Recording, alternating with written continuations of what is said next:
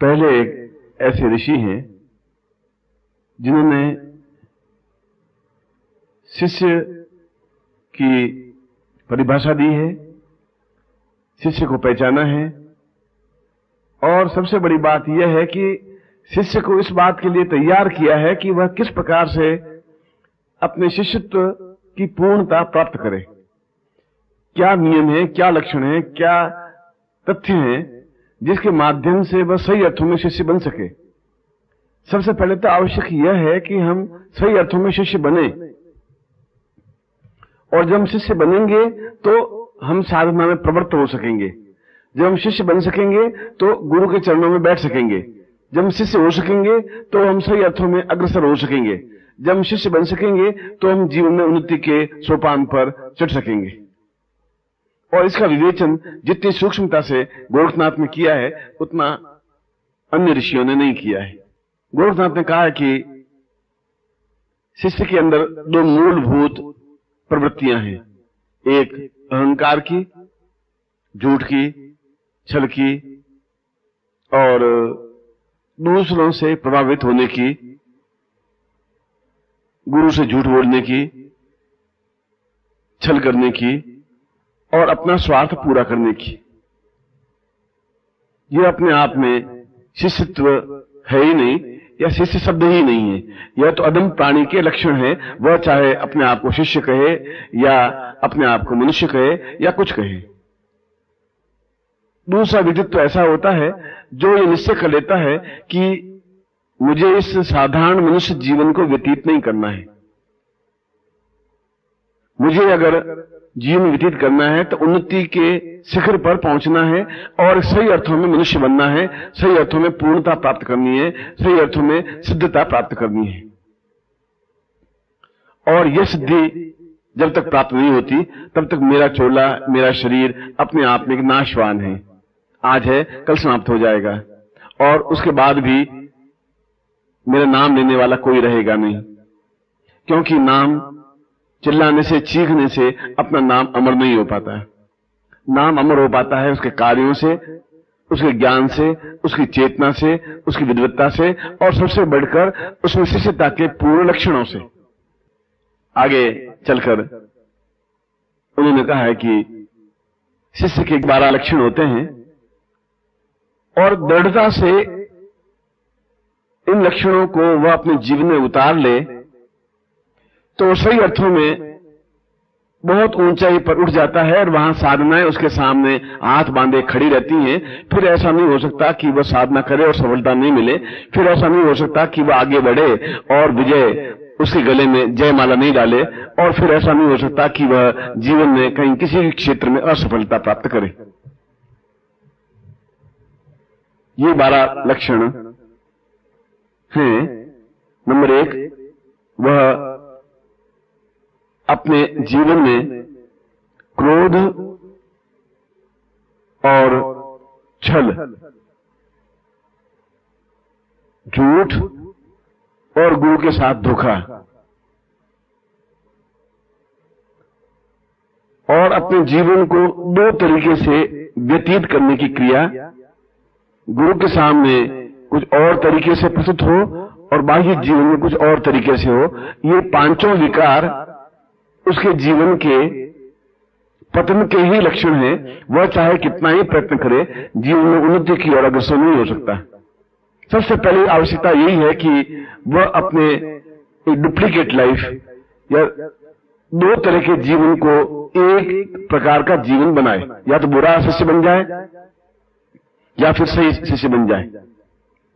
और जिस प्रकार से कमल के ऊपर कोई पानी की बूंद नहीं ठहरती, चाहे हज़ारों बूंदें उसके ऊपर गिरा दी जाएँ, चाहे वर्षा हो जाए, मगर कमल अपने आप में उसके ऊपर किसी प्रकार के पानी का असर नहीं पड़ता।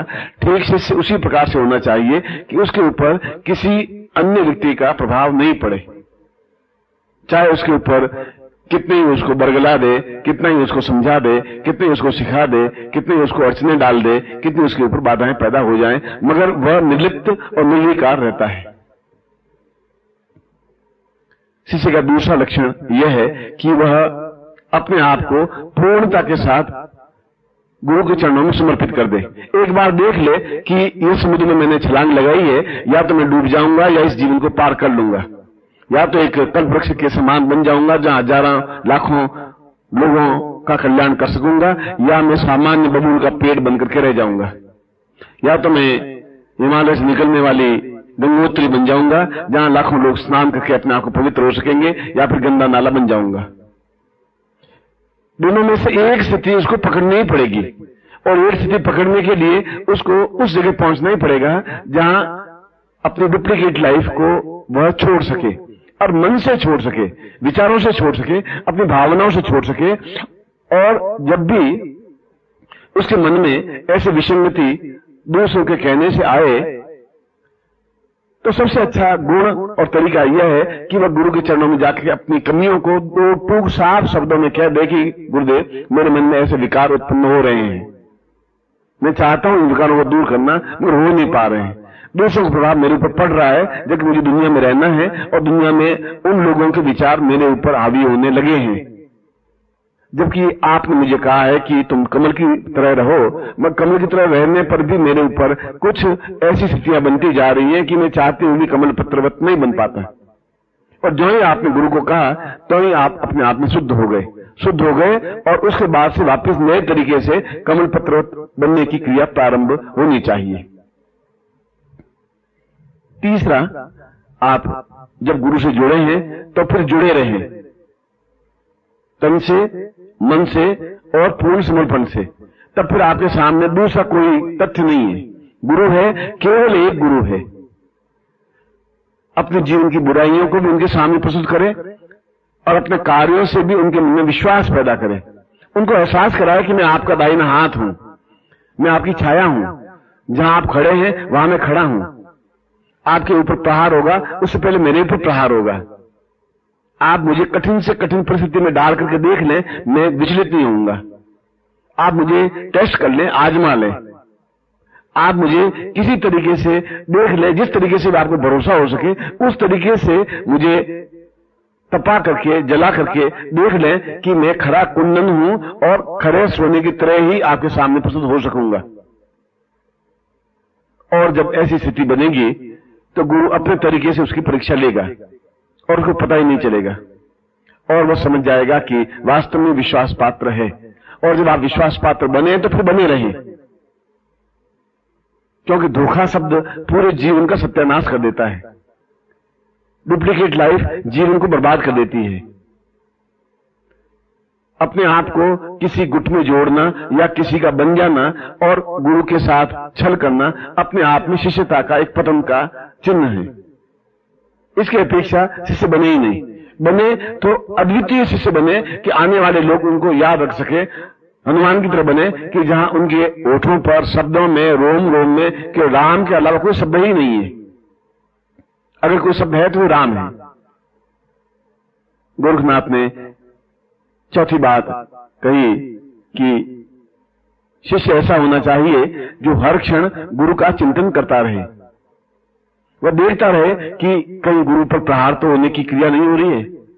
कहीं गुरु को भ्रम में डालने की क्रिया तो नहीं हो रही है। क्योंकि गुरु तो सरल चित्त होता है, बहुत सीधा साधा होता है। उसके मन में छल, कपट, झूठ, द्वेष, अहंकार होता ही नहीं।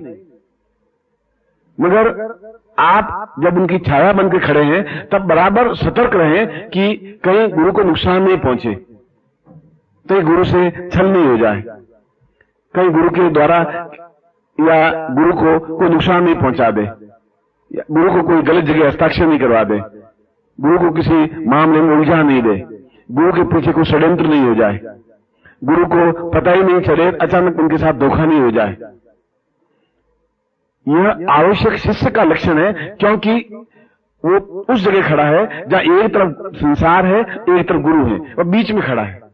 और बीच में खड़ा है, इसलिए उन झंझावातों को भी समझता है और उन झंझावातों से गुरुदेव को बचाना भी है। तभी शिष्य का सही कर्तव्य है, धर्म है और उस धर्म और कर्तव्य का पालन कर सकेगा।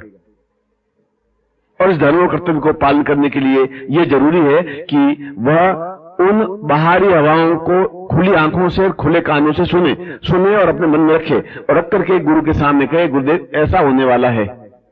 आप सावधान रहें, क्योंकि आप अत्यंत सरल चित्त हैं और किसी समय आपको नुकसान पहुँच सकता है। यह उसकी शिष्यता की अपने आप में श्रेष्ठता है, अद्वितीयता है। पांचवा, गोरखनाथ ने कहा है कि शिष्य किसी हालत में क्रोध नहीं करे।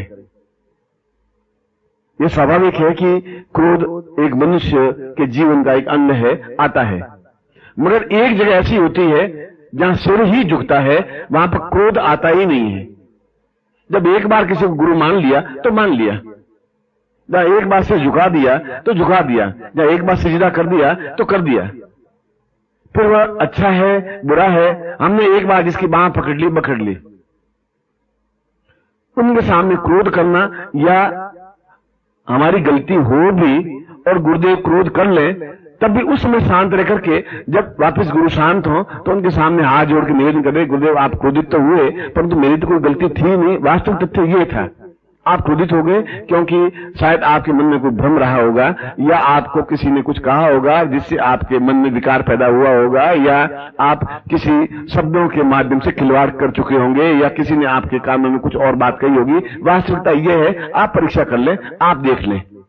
और यदि मेरी गलती है तो आप मुझे जो भी सजा दे, उस सजा को मैं स्वीकार करने को तैयार हूँ, क्योंकि मुझे शिष्यता, पात्रता प्राप्त करनी है। इसलिए क्रोध, शिष्य किसी भी हालत में गुरु के सामने करे ही नहीं, चाहे गुरु गलती भी करके क्रोध कर ले और झूठा उसके ऊपर दोषारोपण कर भी ले।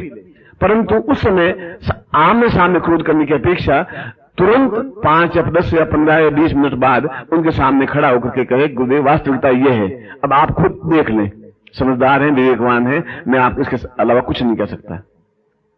ये शिष्य का धर्म है, कर्तव्य है, श्रेष्ठता है, उच्चता है, दिव्यता है और विश्वास जमाने की क्रिया है। शिष्य का छठा गुण या धर्म या कर्तव्य गुरुनाथ ने यह बताया है कि निरंतर अपने जीवन की बागडोर पूरी तरह से गुरु के हाथों में सौंप देनी चाहिए कि गुरुदेव, ये मेरे जीवन की बागडोर है और मेरा लक्ष्य जीवन में उस जगह पहुँचना है जहाँ आने वाली सौ साल और आने वाले दो सौ साल मुझे याद रख सकें, मेरे कार्यों से, मेरे विचारों से, मेरी भावनाओं से। मैं क्या करूँ? और ये जीवन आपके हाथ में है। आप जिस प्रकार से भी इस जीवन को यूज़ करना चाहें, प्रयोग करना चाहें, उपयोग करना चाहें, आप करें। क्योंकि आप ही इस जीवन के रखवाले हैं। और अगर आप ही नहीं होंगे तो फिर मेरा शिष्य बनना ही अपने आप में व्यर्थ हो जाएगा, उद्देश्यहीन हो जाएगा। इसलिए मुझे समय समय पर टोकते रहे, ठोकर मारते रहे, छाती पे प्रहार करते रहे, समझाते रहे। मुझे ये बताते रहे कि मैं गलती कहाँ कर रहा हूँ, क्योंकि मुझे मालूम नहीं पड़ रहा है कि मैं गलती कहाँ कर रहा हूँ। और मैं गलती को सुन करके क्रोध नहीं होऊँगा मेरे अंदर कोई बात नहीं होगा, मगर एक भावना पैदा होगी कि गुरुदेव मेरे हैं और मुझे बराबर समझा रहे हैं और जो गुरुदेव समझाएँ, उनको हृदय में उतारने की क्रिया है। बार बार मन को परिवर्तित कर देना तो वह ओछेपन का कार्य है। बार बार गलत आदमी की संगति से तो अच्छे से अच्छा व्यक्ति भी अपने आप में निम्न स्तर का बन जाता है। ऐसे व्यक्ति से अपने आप को दूर रखना ही जीवन का धर्म और कर्तव्य है। गर्म हवाओं से और तूफ़ान से अपने आप को बचा करके किसी की ओट में खड़े होना ही समझदारी है। तूफ़ान के बीच में खड़े होने से कोई फ़ायदा नहीं है। जो व्यक्ति आपको भ्रमित करे, जो व्यक्ति आपको दुष्चक्र में डाले, जो व्यक्ति आपको नुकसान पहुँचाने की कोशिश चेष्टा करे, जो व्यक्ति आपके मन को भ्रमित करके आपके मस्तिष्क को बिगाड़े, उस व्यक्ति से यथासंभव दूर रहे और ठीक उसी प्रकार से खड़े रहे जैसे उसने कार हमने सुना ही नहीं। यह गुरुदेव के प्रति शिष्य की सबसे बड़ी सेवा होती है। गोरखनाथ ने शिष्य के साथ में चरण को स्पष्ट करते हुए कहा है कि शिष्य वह होता है जो गुरु से बराबर प्राप्त करता रहता है। उनके विचार, उनकी भावनाएँ, उनके कार्य, उनके चिंतन, उनकी पद्धति। गुरु कहे, वह करे। जो गुरु करे, वह आपको करने की ज़रूरत नहीं है। ये मूलभूत तथ्य है। गुरु क्या कर रहा है और क्यों कर रहा है, वो हम नहीं समझ पाएँगे। गुरु क्या कह रहा है, हमें उसका पालन करना है। गुरु ने क्या पहना है, वह हमें पहनने की ज़रूरत नहीं है। गुरु कहाँ जा रहा है यह हमें जानने की ज़रूरत नहीं है। गुरु ऐसा क्यों कर रहे हैं, ये हमें समझने की ज़रूरत नहीं है। हमें तो केवल गुरु कहे, उसका पालन करना है। गुरु वो लीला क्यों कर रहे हैं? ये गुरु जाने। हो सकता है कोई विशेष क्रिया हो हो सकता है उनका कोई विशेष अभिप्राय हो हो सकता है किसी और शिष्य को समझाने की क्रिया हो। इसलिए जो गुरु करे, वह नहीं करे अभी तो जो गुरु कहे, वह करे। जो उसने कह दिया, गुरु ने कह दिया, उसको ब्रह्म वाक्य समझ लिया और उसका पालन करना ही अपने आप में जीवन का ध्येय और लक्ष्य होना ही चाहिए और करके दिखा दे, ठीक समय पर। तुम्हें पाँच मिनट में काम करना है, पाँच मिनट में काम करके दिखा दे। दो घंटे में काम करना है, दो घंटे में काम करके दिखा दे। शिष्य का आठवां लक्षण समझाते हुए गुरुनाथ ने कहा कि शिष्य वह होता है जो अपने आँखों में गुरु की तस्वीर को बसाए रखता है। अपने कानों में गुरु की आवाज़ को बसाए रखता है। जब भी मन भ्रमित हो तो गुरु का प्रवचन सुनना शुरू कर दे। कोई कैसेट सुनना शुरू कर दे। कोई वाक्य बनना सुनना शुरू कर दे। जिससे कि मन के अंदर का जो मेल है वो अपने आप में साफ़ हो जाएगा। जब भी मन में एक गलत भावना आए, तब उस कैसेट को बजा करके या उस वाक्य को बजा करके सुनने की क्रिया प्रारंभ कर दे।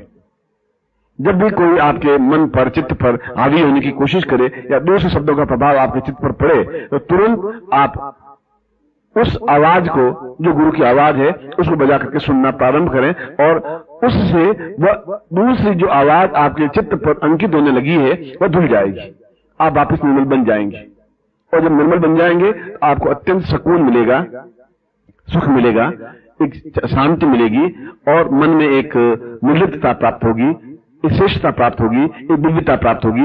ये एहसास होगा कि मैं बिल्कुल पूर्ण रूप से शुद्ध, परिष्कृत और चैतन्य हूँ। यह श्रेष्ठतम क्रिया है जिस तरीके से आप अपने आप को इन बाहरी तूफानों और बमंडरों से बचाए रख सकते हैं। और यह ज़रूरी है। गोरखनाथ ने शिष्य के नवे धर्म को बताते हुए कहा है कि यदि हम सही अर्थों में शिष्य बन जाते हैं तो फिर उन्हें किसी प्रकार की साधना करने की ज़रूरत ही नहीं होती। यदि सही अर्थों में हम अपने आंसुओं से गुरु के चरणों को धो लेते हैं तो फिर हमें किसी गंगा में स्नान करने की ज़रूरत नहीं होती।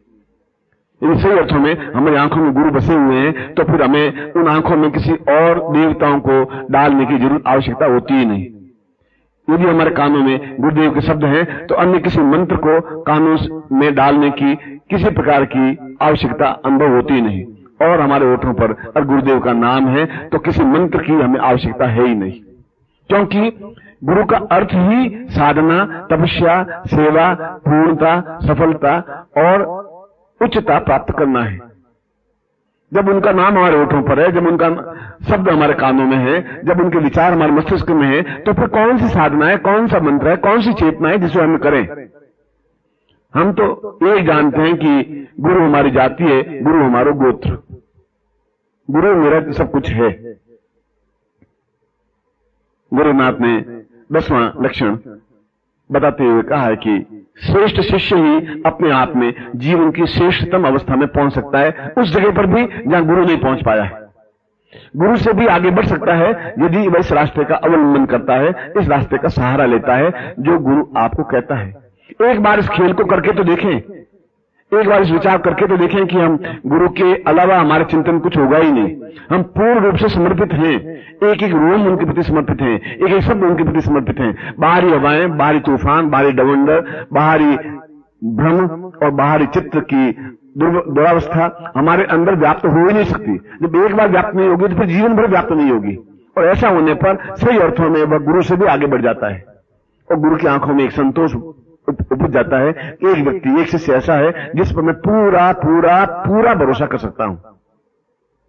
और जब ऐसा हो जाता है तो सारी साधनाएँ सिमट करके अपने आप उसके अंदर समाहित हो जाती हैं और समाहित होती ही हैं। ऐसे लाखों साधनाएँ कब कर पाएँगे?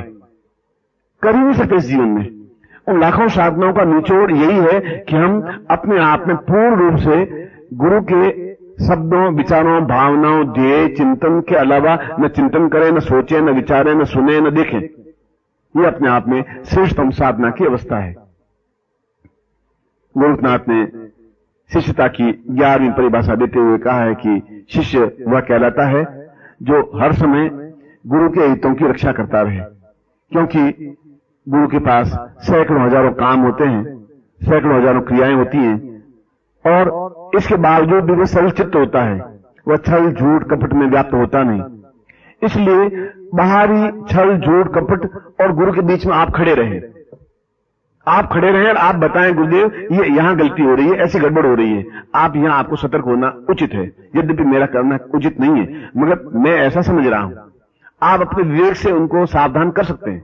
या आपके हृदय पर कुछ दूसरे विकार पड़ रहे हो तो आप तुरंत गुरुदेव मेरे हृदय पर ऐसे दूसरे भावनाएँ, दूसरे विचार आ रहे हैं। आपके प्रति गाली निकल रही है, आपके प्रति दुरावस्था निकल रही है, आपके प्रति छल पैदा हो रहा है। मैं क्या करूँ? मैं बहुत कोशिश कर रहा हूँ, ठीक नहीं हो पा रहा हूँ। ऐसा कहते ही अपने आप में तुम्हारे चित्त पर जो दूसरे अक्षर लिखे हुए वे अपने आप में धुल जाएँगे, साफ़ हो जाएँगे। और यह साधक की श्रेष्ठतम अवस्था होती है, जीवन की पूर्णता की श्रेष्ठतम अवस्था होती है। और बारवा और अंतिम उद्देश्य, शिष्य का बताते हुए गोरखनाथ ने कहा है कि जीवन में सब कुछ बनना संभव है। धनवान, यशवान, पुत्रवान, पत्नीवान, ऐश्वर्यवान, लक्ष्मीवान, पर सबसे कठिन शिष्य बनना है। क्योंकि वह पूरे ब्रह्मांड को अपनी मुट्ठी में दबा लेने की क्रिया कर सकता है। जो शिष्य है, उसके हाथ में पूरे ब्रह्मांड है। जो शिष्य है, वह पूरे ब्रह्मांड में विचरण कर सकता है। शिष्य है, वह पूरे ब्रह्मांड को देख सकता है। शिष्य है, वह अपने आप में पूर्ण ब्रह्म बन सकता है। शिष्य है, वह अपने आप में पूर्ण मदा पूर्ण मदा को चरितार्थ कर सकता है। शिष्य है, वह अपने आप में जीवन की सर्वोच्च स्थिति तक पहुँच सकता है। शिष्य है तो हज़ारों हज़ारों वर्षों तक जीवित रह सकता है। और इसके लिए आवश्यक है कि बारह नियमों का बराबर नित्य उसी ढंग से पाठ करें। जैसे हम कोई गीता का पाठ करें या रामायण का पाठ करें या महाभारत का पाठ करें या हम किसी ग्रंथ का पाठ कर रहे हैं। इन बारह तथ्यों का बराबर चिंतन करता रहे, देखिए कि बारह इन तथ्यों में से कौन सा तथ्य ऐसा है जहाँ मेरी नींद आ गई है। और न्यूनता को दूर करने के लिए ज़रूरी है कि आप उस न्यूनता को गुरुदेव के सामने रखें। रखें जिससे कि वो अपने कृपा से, अपनी तपस्या से आपके हृदय पर अंकित उस धूल को झाड़ सके। आप नहीं झाड़ सकेंगे, क्योंकि आप झाड़ते तो वो समस्या आपके हृदय पर, वो कुदृष्टि वह कुछ कुछ सेवा आपके हृदय पर अंकित होती ही नहीं। आप नहीं झाड़ पाए, इसलिए गुरुदेव का यह कार्य है कि आपने कहा, गुरुदेव ने अपनी उस कृपा से, अपनी वाणी से, उस तपस्या के अंश से उसको झाड़ दिया। वास्तव में ये बारह लक्षण हम जीवन में उतार देते हैं तो सही अर्थों में ब्रह्म बन जाता है। वह सही अर्थों में पर बन जाता है। वह सही अर्थों में तत्वमसी बन जाता है। वह ये सही अर्थों में साधना की पूर्णता की अवस्था तक पहुँच जाता है। वह सही अर्थों में गुरु से भी आगे बढ़कर के पूर्णता और श्रेष्ठता को प्राप्त कर लेता है। और वह सही अवस्था में और सही रूप में संसार की सारी निधियों को अपने अंक में समेट देता है। और वह सही अर्थों में गुरुमय बन जाता है और गुरुमय बनना ही जीवन की श्रेष्ठता है, पूर्णता है, अद्वितीयता है और जीवन की सर्वोच्च अवस्था है, जिसे ईशावास्य परिषद में कहा है पूर्ण मदह पूर्ण मिलम पूर्णाद पूर्ण मुच्यते पूर्णश्य पूर्णमादाय पूर्ण मेवावशिष्यते ये सारा का सारा श्लोक इन बारह सूत्रों में अंकित है और ये जिसने इस बारह सूत्रों को नित्य सुना, अपने जीवन उतारा, वह सही अर्थों में अपने आप में पूर्णता को प्राप्त किया और आप पूर्णता को प्राप्त करें। ये आपके जीवन का उद्देश्य, आपके जीवन का धर्म, आपके जीवन का लक्ष्य, आपके जीवन की पूर्णता, आपके जीवन की श्रेष्ठता है। ऐसा ही मैं आपको आशीर्वाद दे रहा ओम परम तत्वाय नारायणाय गुरुभ्यो नमः।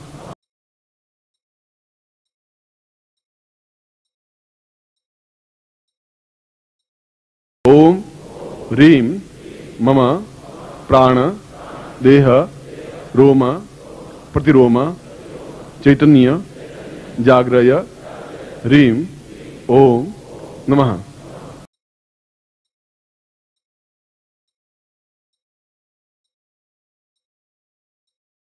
ओम, भूर्भुवः, स्वः, तत्सवि तुर्वरेण्यम भर्गो देवस्य धीमहि धियो यो नः प्रचोदयात्।